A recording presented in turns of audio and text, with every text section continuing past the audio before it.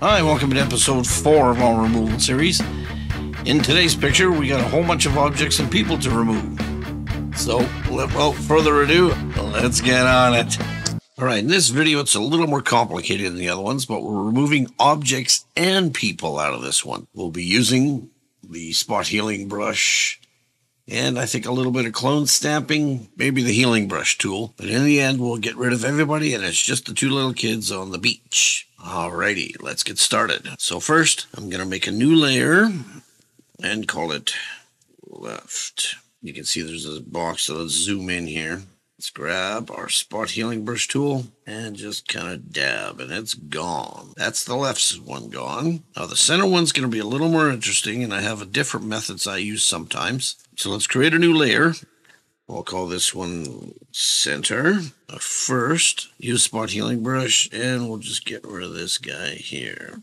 For the boy's head, let's uh, grab our clone stamp tool flow at about 5%. Rotate the canvas so we can do our strokes kind of properly here.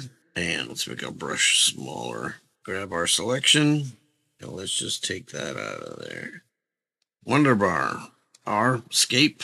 As for the lady, what I'd like to do is first use our clone stamp tool, brush a little bit bigger. First, let's make our flow about 25%. Grab our selection from over here, and we'll do the old cut the lady in half trick. Reason I'm doing this, getting a little bit of ocean in here, is for the rest of it, we can simply color with our spot healing brush tool. Go around her. Now, any mess at the end, we shall clean up at the very end. Gone. Little dab there. We'll do that for the rest of her. Go back here. And she's gone. Let's dab a couple of times. So we'll do a bit of a repair. Reduce our brush and get rid of that section here. All right, let's take a little break here.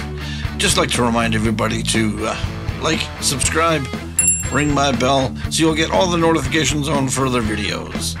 Let's get back at it. Now, let's go over here. New layer. Right. And spot healing brush tool. Make it a little bit larger than the dot. Dab. It's gone. Now let's Get rid of these guys here. Dab, dab. And they're pretty much gone. What I'd like to do, grab our clone stamp tool, make our selection like way over here, line it up, and let's get rid of whatever this is with some ocean and stuff. Way over here, line it up if you can, and let's get rid of half of this guy. Make sure that he's kind of in half. A little bit of ocean here. Now, spot healing brush tool. And let's just color them in here. And we got a couple of things that aren't lining up too well, but that's okay. We shall clean it up later. Let's grab their legs shadow, whatever this is.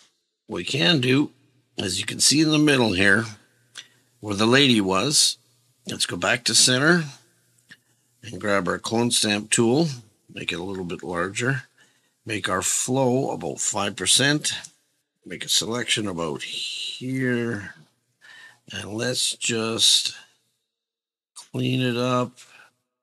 Let's go on our right layer and grab a section from over here and just just kind of make the sky a little bluer comparatively to what it was. Kind of clean up our mess a bit.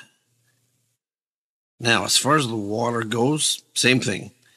Let's make our close the brush a little bit smaller. Let's grab some water from over here.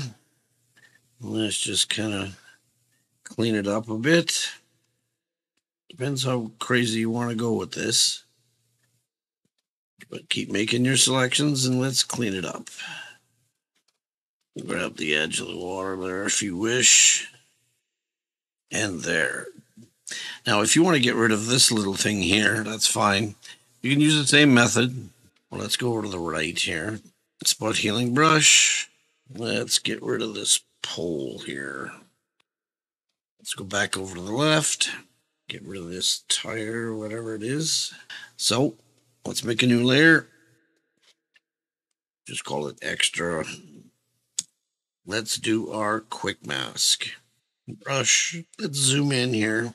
Because all we really need to do is protect the girl's hair here. A little bit of her arm and hand. So what we can do, let's make sure that we're painting black on here. And let's protect all the parts that we want to protect when we're going to start using the clone stamp tool. Protect all her hair such. Maybe a little bit more here. Okay, now that we've got our selection, let's put our flow back to about 25%. Let's grab a bit of sand over here. Make our selections. And let's remove that part there. Now you can also grab the same selection from over here so it doesn't look so obvious. And let's remove this bit here. Try not to remove her hair. Now this part here, let's line it up. Do about there. And go up. A bit in the ocean. A little bit of delicate coloring in here and in here, and that's gone. So Control D to deselect. If you see any sort of anomalies, let's kind of clean them up. Always clean up your mess, however you wish to do it. And I'm going to extend this a little bit so it looks a little more natural.